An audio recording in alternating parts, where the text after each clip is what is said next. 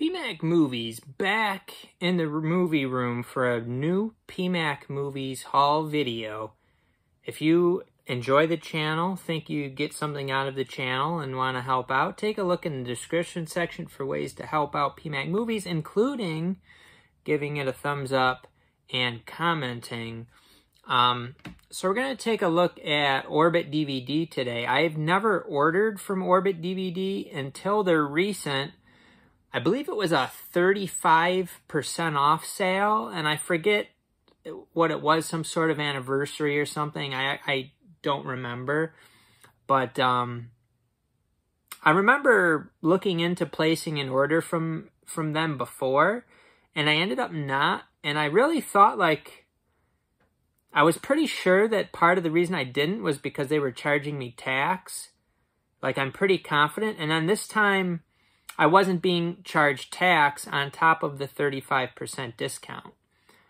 Um, now the discount was on only certain certain um, items from certain companies, including 88 Films, US 88 Films, um, Severin, um, I'm trying a few other brands. I can't I can't remember. Um, the one was like ones that MVD puts out. I forget. I, I did buy some some of those. I forget the, the name, but we'll take a look at what I got. Uh, I placed three orders, actually. I placed one, which I thought was going to be my only order.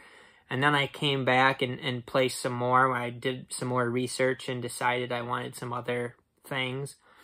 Um, so these are, I think this is my first and second order. And then my third one hasn't shipped yet. So it's probably, uh, you know, I'm probably not going to get that until I suspect like next week or something like that. They haven't shipped it. So it, you know, with how they're doing with the shipping, it, it, it's not going to be this week. Um, so probably next week. But we'll take a look. So we'll take a look at my first order, my second order. Um, I'll talk a little bit about what I heard of Orbit DVD. I've heard that they're a really good company, that they their shipping practices are excellent as far as how they wrap up the items. Um, they take really good care of them so that they don't get damaged. Um, there's pluses and minuses to buying from these smaller companies like an Orbit DVD or a Diabolik DVD um, or a Grindhouse Video um, versus an Amazon. They, those companies are small businesses. They tend to pack a lot better things like that. I think, I guess my concern would be while the customer service is more like you're probably dealing with somebody who runs the company or like one person away from who runs the company. It's a small business, so if you're saying that there's damage to the item or something, and I haven't had an issue like this, um, partly because I'm not going to go ahead and, like, I got a Diabolik DVD order, and there were some issues with it, but I just, like, didn't even, I didn't even want to complain about it or whatever. Um, but like Amazon, you get something and, and they'll, it's like you're dealing with some lower level person. So they're just going to send you another one and you return what you got or they'll give you a certain percentage off, something like that. So whereas with this, it could be like, oh, well, that's a manufacturing issue. You're out of luck. Based on their some of their return policies, it's like if there's a minor defect with the packaging or whatever, you know, you know, we're basically can't do anything about that sort of thing from some of these companies. So that's kind of, there's pros and cons to both. And plus, as far as the pricing, I mean, you're to, you're generally to be able to get better prices from some of these other companies, like an Amazon, um, or a Best Buy, or a Target. Um, now, Hamilton Books, another small business, where the prices might end up being pretty good there. And their as far as their return policies and stuff like that it's pretty darn good. So i like to deal with hamilton book. Um but you know let's take a look at what we got here. So this is the first order. I do remember some of the stuff i got. Um i'll talk about each item that i got why i got it and um we'll take a look at how they packed it Okay, so they have like a receipt in here, like a store receipt, which is kind of neat. And when we open it up, we see this on top. So, you know, they're really packing it well on top, hopefully on the bottom too. And we'll take a look. So the first item here is a Severin uh, movie. And it is a Italian TV anthology. It's actually 445 minutes. And um, I'll take a look at the prices at the end if the prices are on the receipt, which it looks like they are. I believe this was about around $16. It is the devil's game here. So to be able to get something that's like maybe it's acclaimed Italian TV anthology and definitely something, you know, I could watch here during the the Halloween season. It's from 1981. It is in Italian with optional English subtitles. Um, Looks like it's region free. Two disc collection. Includes Mario Bava's final film, The Venus of Ill, starring Daria Nicolodi. So I thought this was a pretty good bang for the buck here. So I decided to go ahead and grab that one. So that was a... Uh, and I found out about that one through looking at uh, Blu-ray.com message board. Somebody mentioned it. I looked into it and I wanted it. Now this is one that was on my list of ones I wanted to get.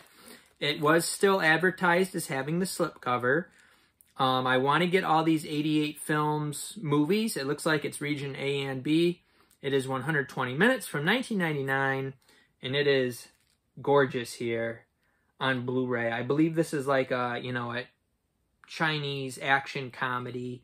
Um, so to be able to get the limited edition of this for, I believe it was about 16 bucks. We'll take a look at the receipt after, but to be able to get for that price, was a really, really nice deal. And th this one was definitely on the want list. The Devil's Game wasn't on the want list. It was just uh, doing a little research. Now, this is one that was... I already have the Blu-ray of this. I like sci-fi. I thought it was a really good price for this edition of it.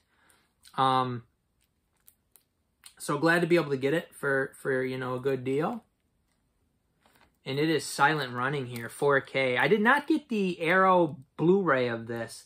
I really have an issue with the... I mean, these companies are just trying to make money. That's the reality of it. And part of what's happened is I didn't think when, you know, when 4K came out, I was thinking 3D Blu-ray didn't do that great. It was kind of a fad, a brief fad, and then it was gone. Well, 4K, it seems like, especially these companies like Scream Factory, Arrow, uh, Scream slash um, Shout Factory, and these these other boutique companies are just releasing their whole catalogs on 4K. So if you have like a nice 4K or a nice Blu-ray with the slipcover, like a limited edition, it no longer is going to have the value that it had because they're just putting it out on 4K. Um, so the, my question is, does this have the Blu-ray with it too? Which I don't remember when I ordered it. I suspect that this is a one disc edition. I will have to take a look into that. It seems like a lot of these arrows, they just give you either the 4K or the Blu-ray in their limited editions, which I don't care for, but um, that's that's the way it is, and then it's up to you whether you want to buy it or not. Um, so there's that one. That was, I believe, 22.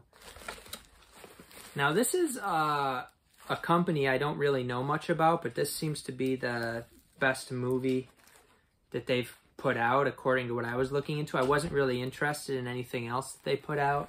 It's from 1976, 97 minutes, and it is Yakuza Graveyard here, which it, it didn't look like anywhere else had even close to the price that this was being sold for. So Radiance is another one of the companies that was part of the sale. Um, great deal for these as, as far as like looking and seeing if they were a comparable price elsewhere. This was the best you were going to do for these Radiance Films um, releases. So to be able to get Yakuza Graveyard for that price was a really good beer me. Um, and this is a Blu-ray limited edition.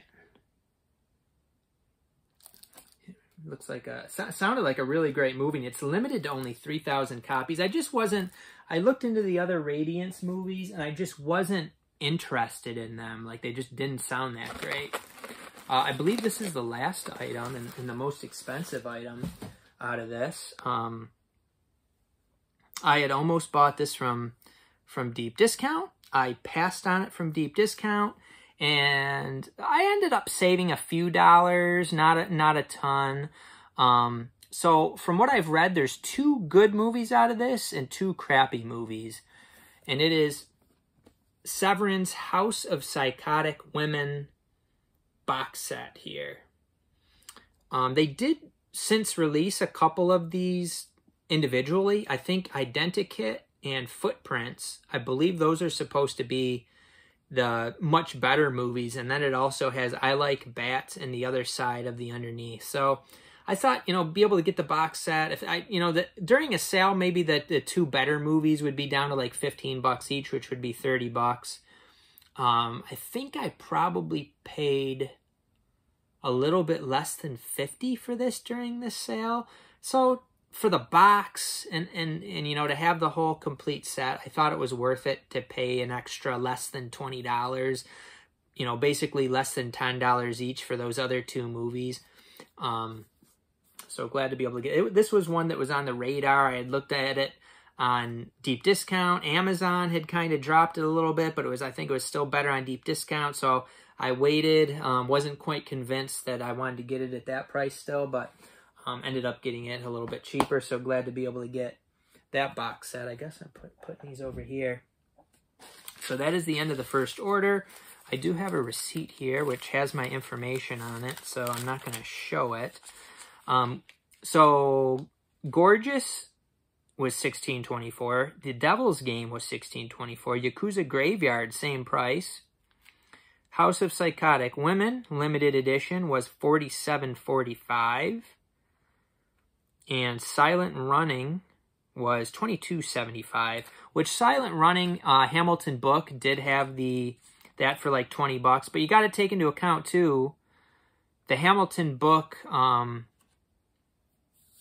one I'm not you're not like guaranteed a slipcover although I suspect it is a limited edition slipcover one um and then you have to pay tax so it still would have been it would have been a little bit less than that but pretty close um and another thing is this during this sale, you had to buy at least three items to get the free shipping.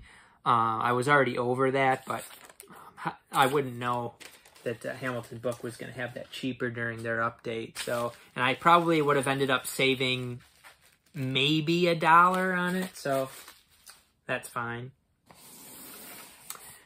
Package number two, I think this is only three items, at most four. And then I think my last one ended up being more than that. Maybe five. I guess we'll find out. Let's see how many we got here. I don't know.